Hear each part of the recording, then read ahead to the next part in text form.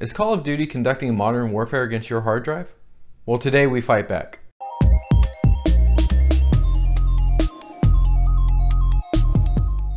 The intro was so bad. So this trick has actually been out a few months now, but with one of the patches earlier this year, there's actually a way to uninstall game modes now that you don't currently use. So I decided to try uninstalling some game modes to see exactly how much free space you can expect to gain back. And quite frankly, it's significant, so let's get into it. All right, so first things first is you do wanna make sure that you have Battle.net and Modern Warfare is updated to the latest patch um, so that you're ready to go. So I'm starting out with 118 gigs of free space on the D drive where the game's installed. We are up to date, and so now we're gonna click on Options, and then go to Modify Install. Once that opens up, we're gonna click on Modify Install again, and I'm gonna start off by removing Campaign. So let's uncheck the box, and then click on Confirm. Looks like we're gonna save about 35 gigs worth of space here. Then click on Start Update, and then also click on Update again. Now this process took a good 10 minutes on a mechanical spinning drive. I did do this on another system as well, and it went much faster when the game is on an SSD. So we're just gonna speed through this. All right, and now that it's done, uh, you're actually ready to play. Only the campaign mode is uninstalled. So if we go ahead and check our free space, we went from 114 gigs up to 202 gigs of free space. So quite a significant jump in free space.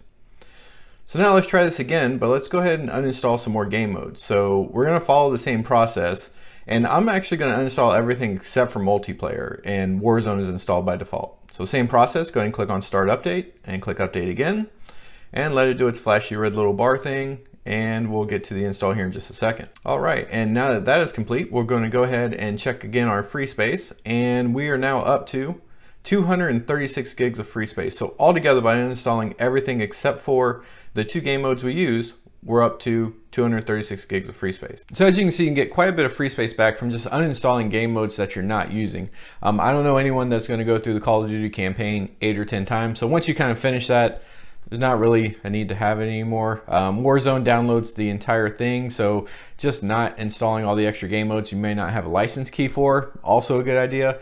Uh, but like I said, especially if you got a 500 gig drive like I did on that one machine, because it is uh, something that we threw together, the hard drive came with it. I didn't want to waste it, so I just used it. But when you're trying to sell something like that and Call of Duty is 250 gigs of the you know, it's basically half of the drive space. So uninstalling that really shows that, hey, if I'm only playing these couple free games, I still got a lot of uh, storage that I can use to install either more free games or, you know, be able to do the updates because for whatever reason, game developers decided 20 gig updates are fine. So rip everyone in the middle of the country that has shitty internet.